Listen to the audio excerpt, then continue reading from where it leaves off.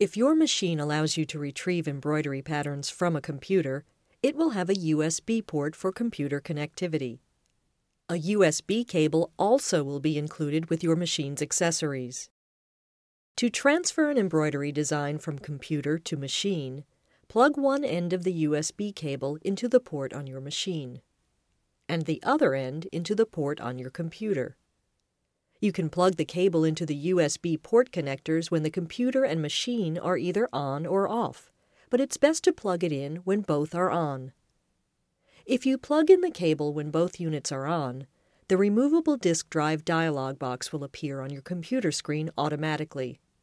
If you plug it in when both units are off, you'll need to access the removable disk drive by clicking Start, then My Computer on your computer.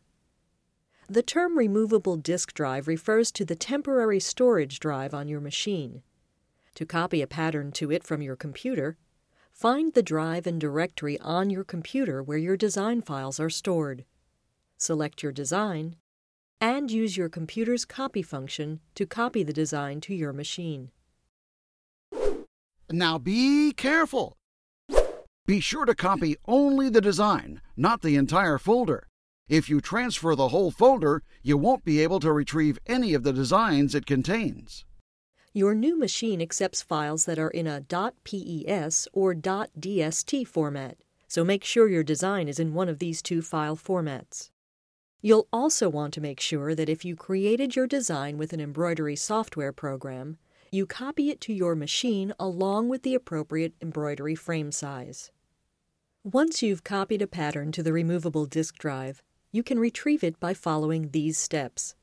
First, press the computer icon on your machine's LCD screen. You'll see a display of all the designs you've copied.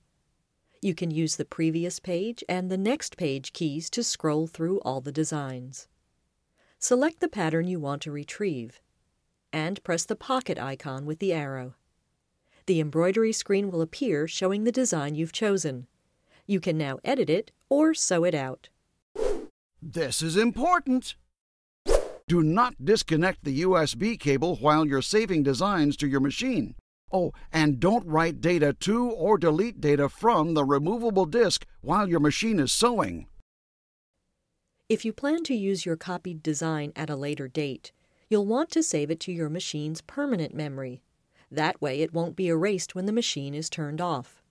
You can store up to 12 patterns or 512 kilobytes of data. To store a design into machine memory, simply press the memory key. Remember, you can only store 12 designs in memory. If you try to save more than that, you'll see a message that asks you to reduce the number of existing patterns in memory. Simply delete a design or designs to make room for the new designs you want to save.